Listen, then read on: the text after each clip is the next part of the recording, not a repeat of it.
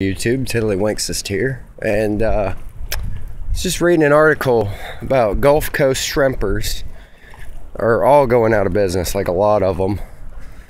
I mean, obviously, uh, the oil spill after Katrina and Katrina and all that has to do with it. But the main reason that they're going out of business is right now you can go into a store and get shrimp cheaper than bologna because it's coming in from foreign countries. Why we do this to our economy, I have no idea. But this ought to explain a lot to you. Right now, if I want 21 for 25 per pound uh, shrimp, I could buy uh, non peeled shrimp for about 89 cents a pound, sometimes cheaper. And those come from Taiwan, Indonesia, sometimes even Vietnam. Or I can pay 4.25, which is a good price on American shrimp, 4.25 a pound for the same shrimp. Which do you think people buy? The 89 cent a pound or the $4.25 a pound? Now, the reason we charge so much for shrimp is because our fuel cost is so high. Uh, in America, fuel costs so much money, and you realize these boats run on fuel. They have employees who also use fuel, and it's just an all around bad state. Another reason that our economy is failing and has been failing since the 20s, very, very, very important. Our economy was started and based on slavery.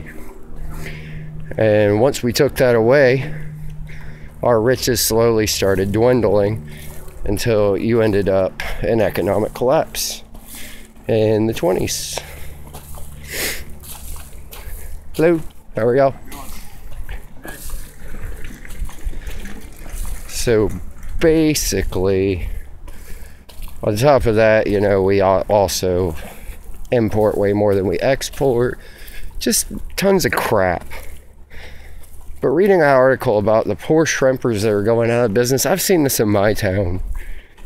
A lot of it has to do with foreign shrimp boats coming here. Most of it has to do with shrimp going away and people being able to buy 89 cent a pound Taiwanese shrimp, which tastes like shit, by the way. They're usually bleached. They don't have the same sanitation laws we have. You, this is a quick tip because I am in food service and I've been around seafood my whole life. My family's uh, diet has revolved around seafood since the beginning of time. But if you ever get shrimp and there's little yellow or white speckles in the tail, that means that those shrimp most likely have been dipped in bleach because they got old and then they were rinsed off quickly. It makes them look newer. But anyway, that's just kind of some of the reasons that our economy is completely collapsing underneath us. And it kind of needs to, but we need to rebuild it around American money, American trade, not the Federal Reserve. We need a real currency. But anyway, that's enough of my babble about that on my gun channel. So I'm out of here.